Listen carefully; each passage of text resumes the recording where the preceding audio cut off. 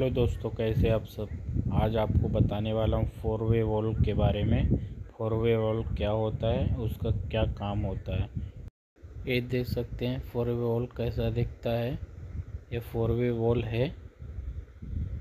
इसके चार रास्ते होते हैं, इसके लिए इसको फोर वे वॉल बोलते हैं और इसको रिसीविंग वॉल भी बोलते हैं। ओके गाइस लोग ये जो स्क्रीन पे डायग्राम देख रहे हैं अभी ये नॉर्मल मोड कूलिंग मोड पे है ओके ये अभी एक कूलिंग मोड पे है। अभी मैं आपको बता रहा हूँ कूल मोड का ये साइकिल है। कैसे वह करता है देख सकते हैं, ये रेड लाइन जो आपको दिख रही है, ये डिस्चार्ज लाइन है।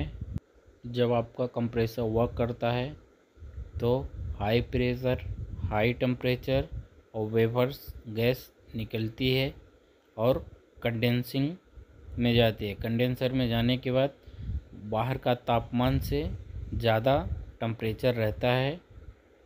वहाँ पे जब वर्क करता है फ़ैन तो वहाँ टम्परेचर जो रहती है वो बाहर निकलने लगती है। इसीलिए वेपर से लिक्विड में गैस कन्वर्ट होने लगती है और लास्ट में जाते जाते वो लिक्विड में कन्वर्ट हो जाती है। इसके बाद वहाँ से एक्सपेंसन वॉल में जाती है। ये देख सकते हैं एक्सपेंसन ये देख सकते हैं एक्सपेंसन वॉल है।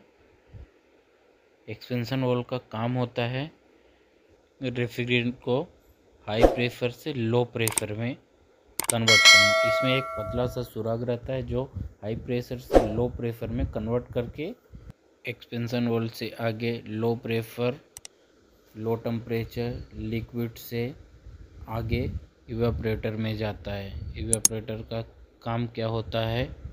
इवेपरेटर बाहर के गर्मी को ऑब्जॉर्व करता है और धीरे धीरे लिक्विड से वेपर्स में कन्वर्ट होने लगता है और लो टेम्परेचर लो प्रेशर और वेपर्स गैस फिर से कंप्रेसर में आ जाता है और इसी तरह साइकिल चलता रहता है। ओके गाइस ये कूल मोड का सिस्टम बताया। अब हीट मोड का आपको बता रहे हैं, फोर वे वॉल कैसे वर्क करता है। ये जो डायग्राम देख रहे हैं, ये डिस्चार्ज लाइन डायरेक्ट इंडोर के इवेपरेटर में जाता है और सेम वर्क करता है, जैसे कूल मोड पे वर्क करता है, वैसे हीट मोड पे वर्क करता है।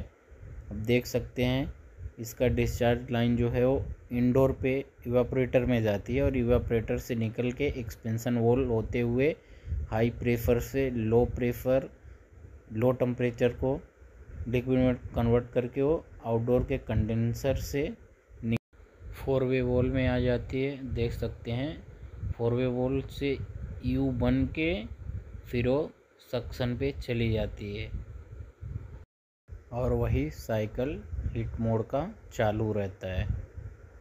ओके गाइस ये जो ब्लैक कलर का आपको दिख रहा है मेन काम इसी का रहता है। आपको बताते हैं इसका क्या काम रहता है।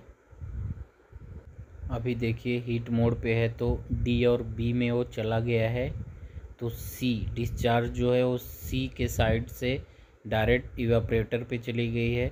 जब वो कूल मोड पे जाता है तो और जो ब्लैक कलर का है, डी और बी, ओ, सी और बी में आ जाता है तो डिस्चार्ज डी साइड से निकल के कंडेंसर आउटडोर कंडेंसर साइड से निकलता है। और इसको कौन है वर्क करता है, आपको वो भी बताते हैं हम। ये देखिए सोलनेट वॉल लगी हुई इस सोलनेट वॉल उसका, उसको वर्क कराता है। आगे पीछे करता है, जब हम हीट मोड पे डालते हैं हीट मोड पे डालते हैं तो आगे कर देता है और जब कूल मोड पे डालते हैं तो पीछे कर देता है। उसमें एक कैपलरी लगी हुई रहती है। वो प्रेफर के माध्यम से आगे पीछे वर्क करता रहता है। उसमें कैपलरी लगी रहती है दोनों साइड। आप देख सकते हैं, ये देख सकते हैं, कैपलरी है। ये प्रेफर के थ्रू कूल मोड पे जाएगा तो आगे के साइड चला जाएगा। तीन नंबर के साइड और कूल मोड पे जब होगा तो एक नंबर के साइड चला जाएगा। ये देख सकते हैं डायग्राम में पूरा। वीडियो अच्छी लगी होगी तो लाइक, शेयर, सब्सक्राइब ज़रूर करिएगा, ओके।